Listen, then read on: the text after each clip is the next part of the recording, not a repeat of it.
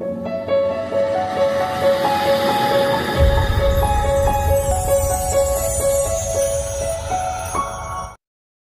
mga ka-crazy. Welcome back to my channel.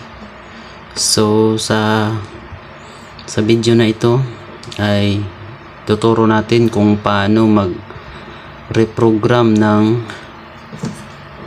um, Samsung Galaxy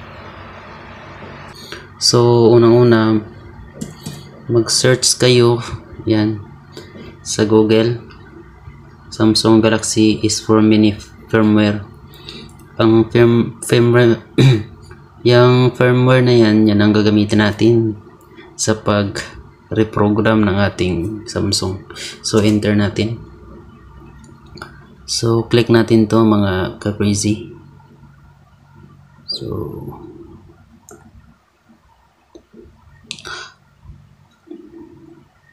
ito mga crazy yung stock firmware plus file. Okay, click.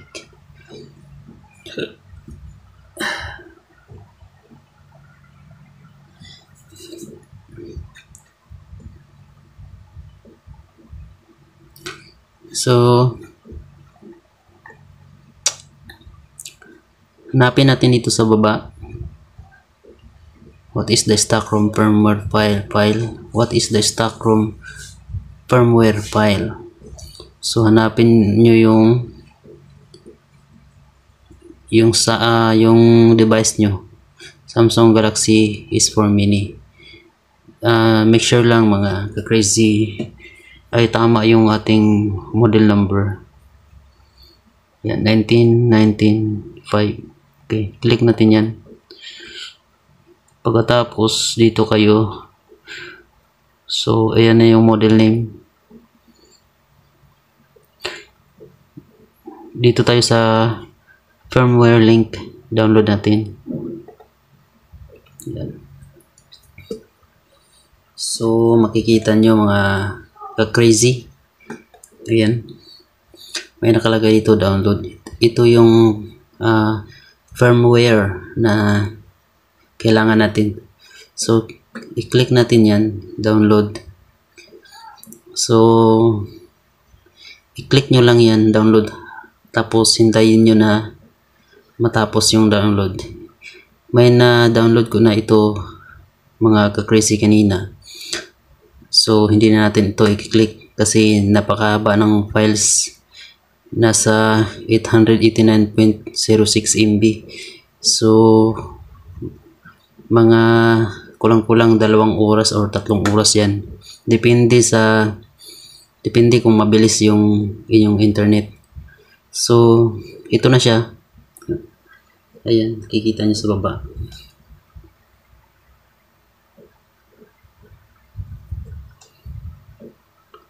Ayan.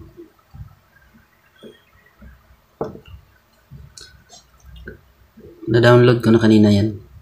So, i-click ko mga crazy. Ayan. So, dito kayo mapunta. Yan, kikita nyo yan ang gagawin nyo yan mga ka-crazy ay open lang natin yun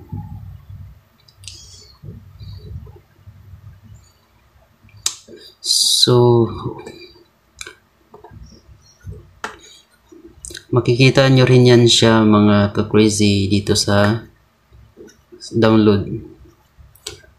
Tapos ito siya. Ang gagawin nyo dito extract nyo yan. Extract here files.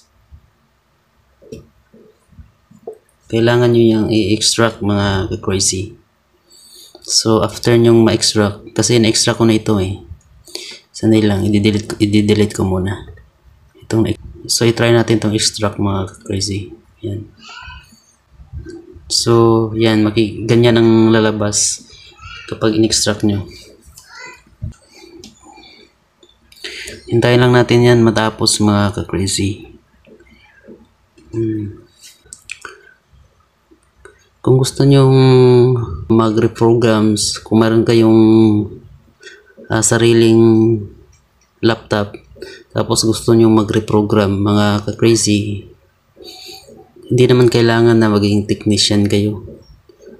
Ah, basta tama lang yung mga procedure na gagawin.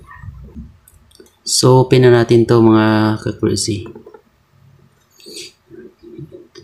Ah, ganyan makikita nyo yung nasa loob ng kanyang folder um, ito yung firmware. Yan. Ito yung kanyang tools. Yan. So ito na siya mga ka-crazy.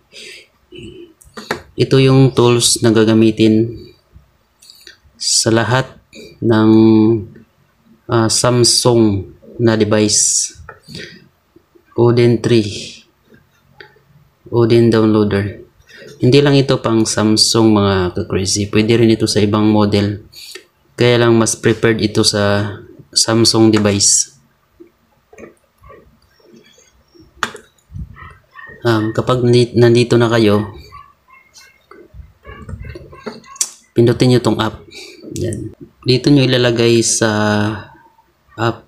Dito nyo ilalagay yung firmware na dinownload natin kanina so pero kailangan bago natin ilagay um, ilagay muna natin sa download mode itong ating Samsung na device so paano ito i-download mode Ah, make sure naka-off yung ah, device nyo. So, para makasigurado kayo, tanggalan nyo yung battery. Sa balik nyo. So, okay. Ah, pindutin lang yung um, power button, tsaka volume down, at saka yung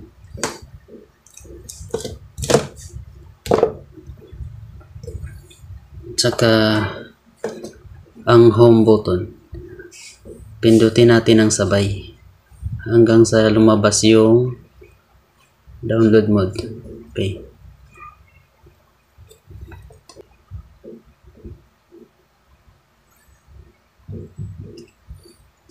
as, um, as you can see mga ka-crazy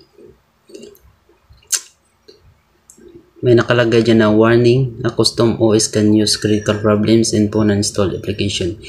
If you want to download a custom OS, press the volume up key. Otherwise, press the volume down key to cancel. So, continue natin. Continue, continue natin.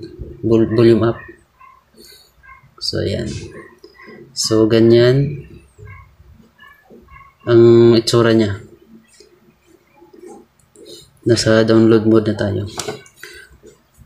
dito sa download mode makikita nyo ang product name yan kapag downloading mode na tayo so i-insert natin yung ating USB yan.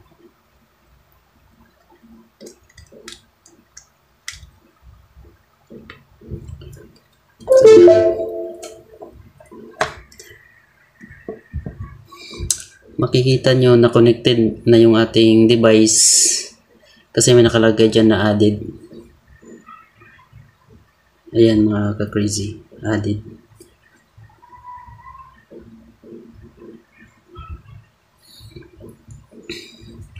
so hayaan nyo lang yan.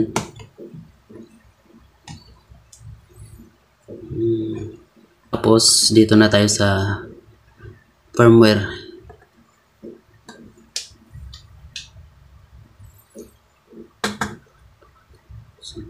Dito tayo sa download. Yan. Ito yung yung firmware natin dinownload kanina. So click natin yan. Yun dito sa firmware. Click. Ayun.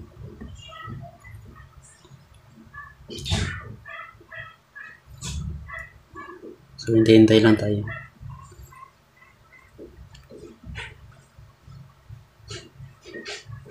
So, ayan mga ka-crazy.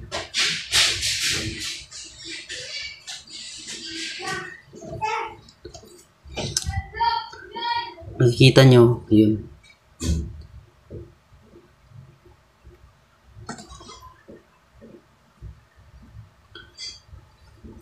Yung ating itong ating firmware ay nandito na sa loob. So, pagkatapos niyan, i-click ah, click lang natin itong yung start itong start mga ka-crazy. Yan. I-start nyo lang yan.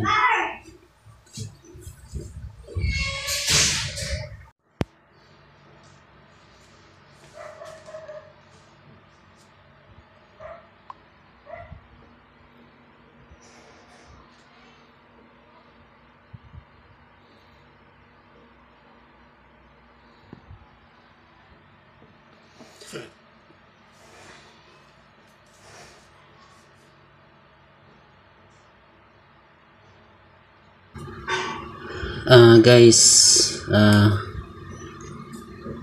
pagkatapos natin i-program, ah, makikita nyo may nakalagay dyan na pass.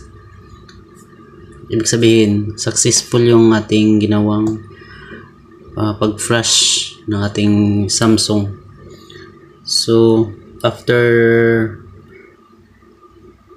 after mag-flash, ay remove natin yung battery.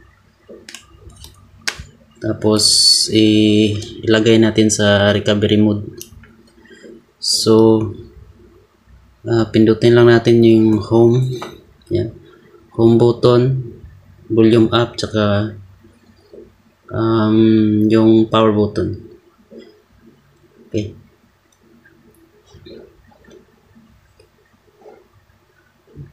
Kapag nag-vibrate na, bitawan natin yung power button. Pero, ah continue pa rin yung pag-press ng home.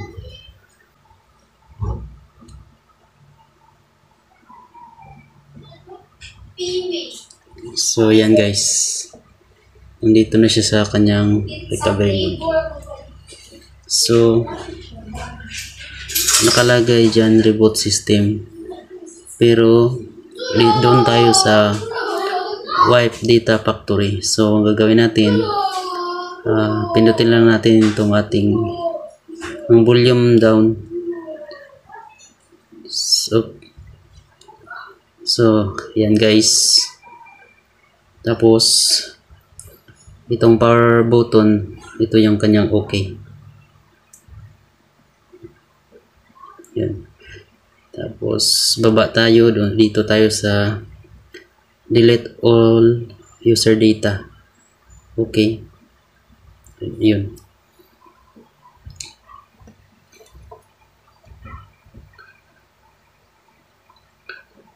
So, ganyan siya. Hintayin lang natin guys. Okay. Ganun pa rin. Reboot system now. Ito, ito pa rin yung gagamitin natin, yung power button. So, yan. So, bumalik na siya sa kanyang um, logo.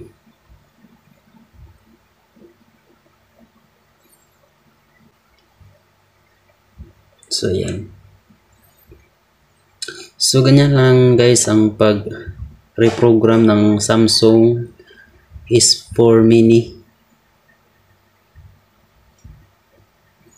So, ah, mag-iwan lang kayo ng comment dyan sa baba.